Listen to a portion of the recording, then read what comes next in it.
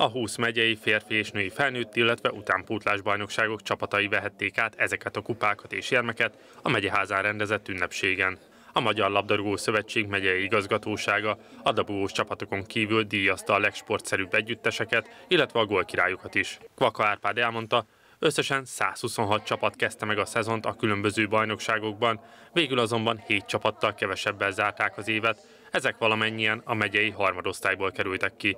A megyei igazgató kiemelte, a visszalépések ellenére jó évet zártak, és mint mondta, az is örömteli, hogy a Magyar Kupában is sikeresen szerepeltek a megyei alakulatok. Hogyha valamit nézünk, akkor azt hiszem, hogy tényleg a többi megyei bajnoksággal kapcsolatosan egyrészt a megye válogatottunk remek szereplése, másrészt pedig a megyei csapataink országos Magyar Kupa főtáblán nyújtott szereplés alapján nyugodtan mondhatjuk, hogy szabolcs bereg megyei bajnokság továbbra is nagyon erős, hiszen nem csak megye egyes csapatunk, ahogy a Sényi vagy Nagyecseret említette, vagy a Nagyhalászt, hanem az Ibrány is nagyon sokáig jutott a Magyar Kupába, és igenis megmutatták, hogy Szabolcs megyében azért nagyon jó színvonalú a megyei bajnokság. Ennek ellenére azért, akik benne vannak, ők azt mondják, hogy évről évre gyengül egy picit talán a színvonal a megyei másod, megyei harmadosztályban, de azt hiszem, hogy a megyei első osztály színvonala az nem, az egy elég stabil, és ennek ellenére a többi osztály színvonala is országos szinten igen kimagasló. Sikeres évet zárt az Ibrán csapata. Meggyőző eredménnyel végeztek a megyei másodosztály Pannóni az IRT csoportjának az élén, de a Magyar Kupában is szépen meneteltek, valamint a megyei kupát is elhódították. A minimális célunk az az volt, hogy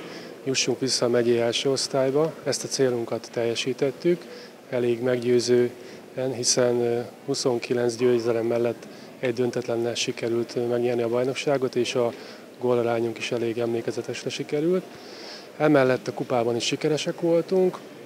A legjobb 64 között egy MB2-es csapat a Budafog búcsúztatott minket, a megyei kupát pedig nagy halász ellen sikerült megnyernünk 3-1-re itt a Városi Stadionban, ami nagy élmény volt mind a játékosoknak, mind a szurkolóknak, mind a vezetőknek egyaránt. A szabolcs már Bereg megyei bajnokságokba a csapatok július másodikáig adhatják le nevezésüket a következő szezonra, az átigazolási időszak pedig július 1-től augusztus 31-ig tart majd.